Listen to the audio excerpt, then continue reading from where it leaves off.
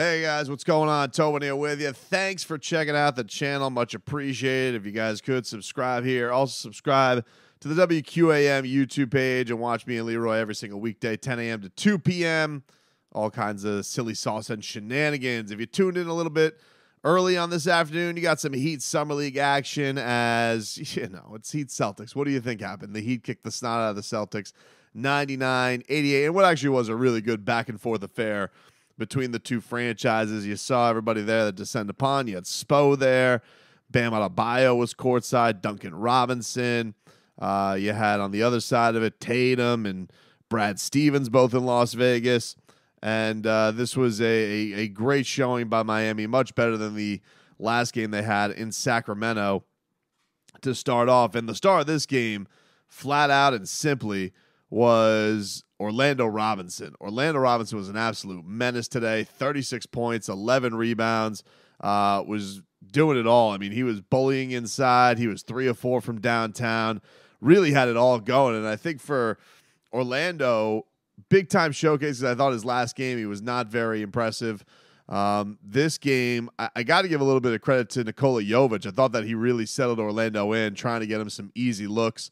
Uh, was was looking for him on a few occasions to to get him some easy buckets. And this second half it, and he took off. I mean, he took it off and, and basically closed the show. But in the even in the first half, I mean, I think he had 21 points at the break on this thing. So just an absolute monster game from Lando in this one. And to see that confidence that was going, I mean, he was doing it in every which way. I mentioned him pulling up from three, but was going inside. He was getting putbacks. Uh, he was attacking at certain points. He was bringing the ball off the floor. Like he, about the most confident you could see Orlando Robinson look in a Heat jersey, and that has to make the the crew absolutely happy for bringing him back on a standard contract. You know, you thought that they had to get better with their backup bigs this year. Uh, mentioned in that Thomas Bryant was courtside today. He introduced himself to Erik Spoelstra. You saw a meeting between Thomas Bryant and Bam Adebayo, and certainly Thomas brings that veteran presence. But when it comes to you know the young guns and finding somebody there, they needed to get better. Uh, Omer Yurtseven, clearly the coach didn't trust him, didn't cr- trust what he could bring to the table, and I think that if you saw the times this year where Orlando did play when he was on a two way contract, they really liked him. I mean, they really liked what he brought to the table. Um, there was just a, there was just an easiness to his game, the way that he fit in, the energy that he plays with.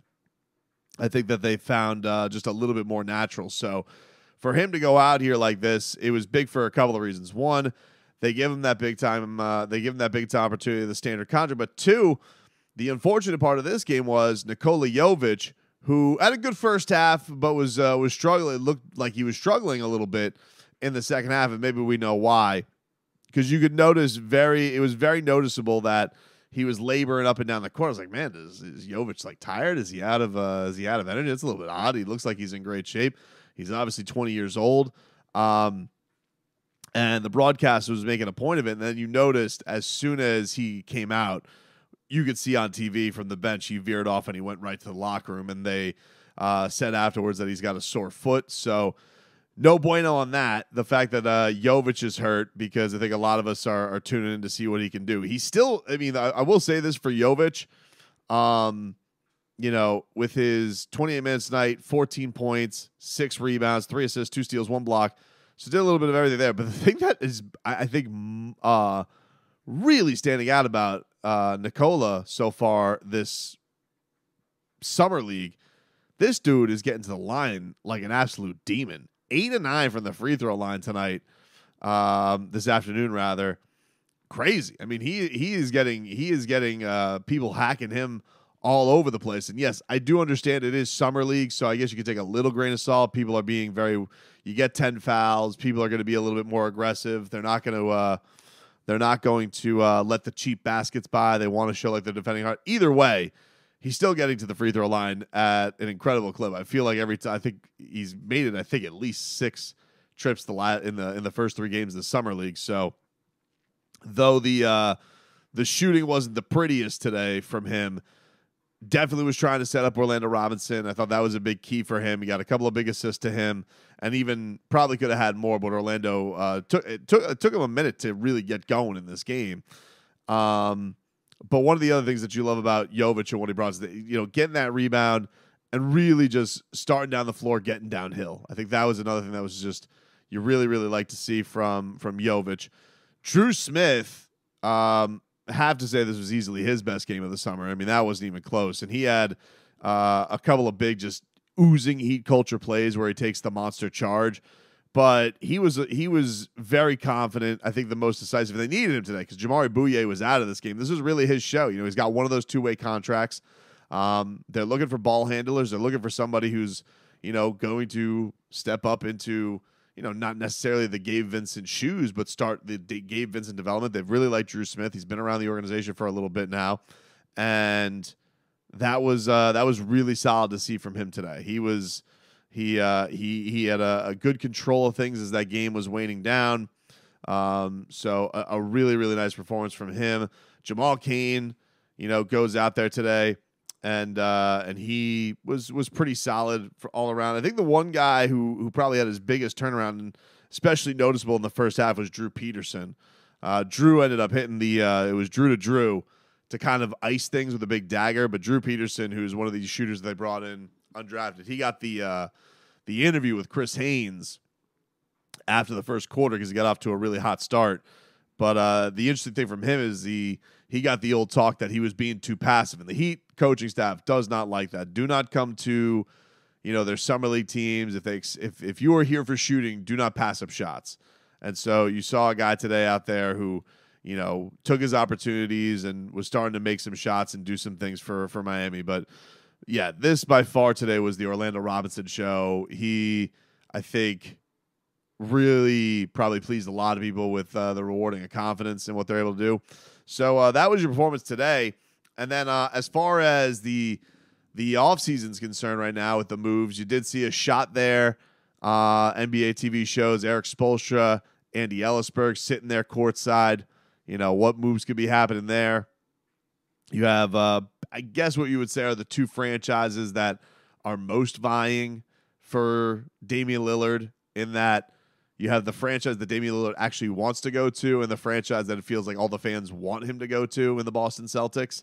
Uh, why people want the Boston Celtics to get Damian Lillard is beyond me, but who, you know, especially with the idea that they're not going to trade uh, Jaylen Brown. So it's like the, the Blazers are going to get some haul on the way back from from Boston that's neither here nor there. The uh, the interesting thing from that though, uh, Chris Haynes did say he did a little uh, stand up to talk about Damian Lillard, and th- there was some interesting stuff that came out of that where he said that th- I would say the most interesting thing is that the Heat and the Blazers haven't really had substantial talks yet. Like haven't had any meaningful trade discussions about Damian Lillard. You know, we all know Damian Lillard wants to go to the Heat. I think we all know that the Heat are interested in Damian Lillard. I think we all know that. Uh, we've heard rumors that they've been trying to maybe shop Tyler Herro and seeing what they can get for him for an asset for the Blazers. But I guess as far as them actually sitting down and discussing, hey, what do you want? What do you want? Um, I according to Haynes, they haven't done that yet. And then uh, Aaron Goodwin, who has done just a, a, a really great job this week and and making it known what his client wants. I mean, we've had the reports that Dame won't show up to training camp. Damian only wants to go to Miami, and it's making the media mental. I mean, they're out here and they're like, "Oh, I can't believe the reputation hit Damian Lillard has taken." I'm just like, to who? Blowhard uh, hoops, uh, you know, here with his his chubby cheeks in the avatar. It's hurt his reputation. Like, who who is he? Who who who the hell is he hurting here? I'd love to know. You know, uh, you know, Dunker Spot blog on Twitter, like you know, you know, uh, Bowl Bleep Peach Basket Central, like, Central, like wh- who whose reputation is he hurting, right? Um, I think even Kevin Durant gave voice to this, where he's just like, people want to see, you know, Damian Lillard hoop, but the fans are to look forward to watching Scoot Henderson play in Portland, and uh, you know, to say this is any kind of stain on Damian Lillard is, you know, it's atrocious, dude. It's it's atrocious that one of the class guys in the league is uh, is getting treated like this with uh, you know not surprising though. I mean, remember how everybody freaked out on LeBron. 13 year anniversary of the decision, by the way, today. So yeah, Haynes. His big report was that there haven't been any substantial talks yet, and uh, hopes to uh, the agent hopes that they do hash it out at some point in Vegas. They all just got there. It was a Goosey's photo today of uh, uh, Alonzo Mourning put out where you see Bam and Zoe and the coaching staff and uh, Duncan Robinson, and so that was kind of cool. You're seeing that the the whole contingent is basically there. I imagine maybe UFC uh, UD is going to be at UFC tonight because uh, he's got a friendship with Robbie Lawler. Robbie Lawler has his retirement fight tonight, and uh, Robbie. It, it was funny. I got to talk to Robbie this week. Who's I mean, just a a legend, dude. I mean, if you guys don't know Robbie Lawler, I don't know what the hell's wrong with you.